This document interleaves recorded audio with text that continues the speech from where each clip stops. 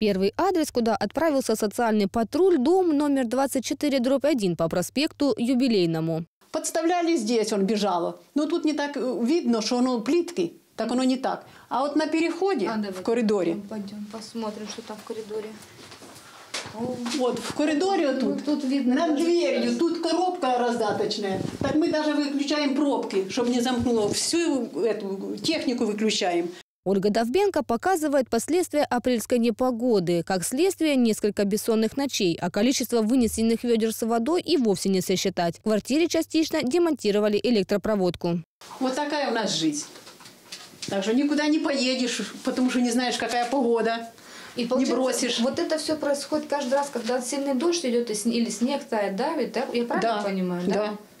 Ну, если, если сильный, Ну, что сильный, да, ливень, да. тоді да. А если вот так, что потихоньку, потихоньку, то только там в коридоре и в зале. С 2011 года Ольга добивается, чтобы коммунальщики выполнили ремонт кровли. Поднимаемся на технический этаж. Пока коммунальщики бездействуют, люди сами, как могут, спасают свои квартиры. Ольга Михайловна, например, застелила пол на техническом этаже пленкой, соорудила примитивную систему слива воды и установила корыто.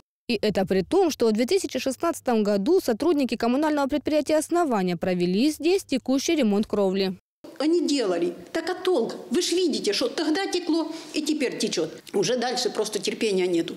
Второй адрес – дом номер 3А по улице Героев 93-й бригады. Нас встречает Лариса Качура. Еще на лестничной площадке видим последствия дождя.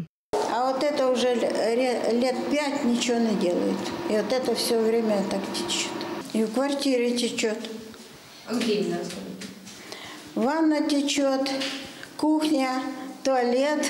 Говорит, обращались к коммунальщикам, звонили и в службу 1580. Ну куда мне еще обращаться? Она говорит, идите к мастеру. Так я говорю, что мне туда идти, если я уже, я не знаю, сколько раз уже до мастера была. От нас ничего не зависит, звонить на 1580. Ну вот я туда и звоню, и там все время.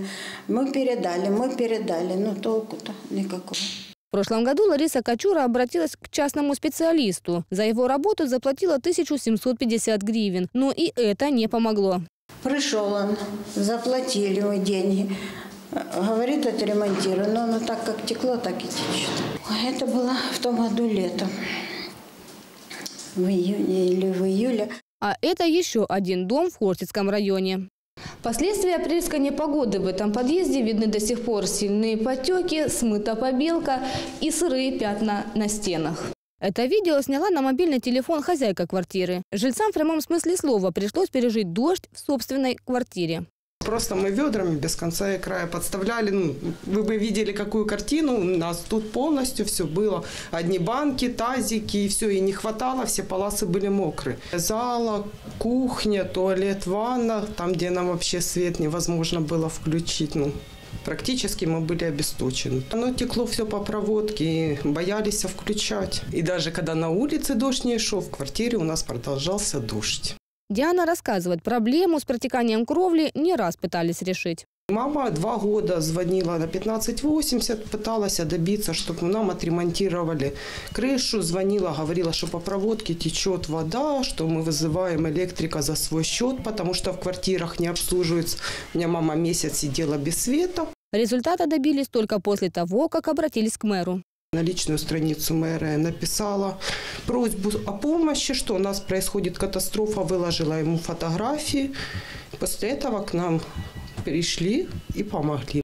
Период с 20 по 22 апреля в Хортицкое отделение коммунального предприятия «Наш город» поступило 74 заявки, связанные с протеканием кровли. На сегодняшний день э, все заявки обследованы, мастера вышли на место и начались работы по устранению этих неполадок. В первую очередь мастера вышли на аварийные объекты. Первым из трех обследованных социальным патрулем домов стала многоэтажка на улице Новгородской. Здесь запланировано перекрытие кровли, основное перекрытие кровли порядка 150 квадратов. То есть э, выполняется заново примыкание к зданию, э, восстановление отмостки и дальше планируется накрывание все рубероидом. Работу планируют завершить в течение двух дней. Отправляемся на остальные два адреса.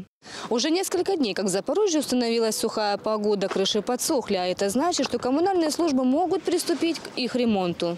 Несмотря на то, что уже несколько дней стоит сухая погода, когда подрядчики подорвали рубероид, то увидели, что под ним еще есть вода. В данный момент да, снят слой кровельного покрытия. 4-5 дней дает на просыхание бетона и будут выполнены работы. Была нарушена технология укладки кровельного покрытия, то есть не были предусмотрены все нормы и был нарушен антиуклон. В этот раз текущий ремонт выполнять на площади в два раза больше, чем было сделано в 2016-м. Работы планируют завершить за две недели. В данный момент выполняются ремонтные работы по адресу Белины 24 в первом подъезде в объеме 80 квадратных метров.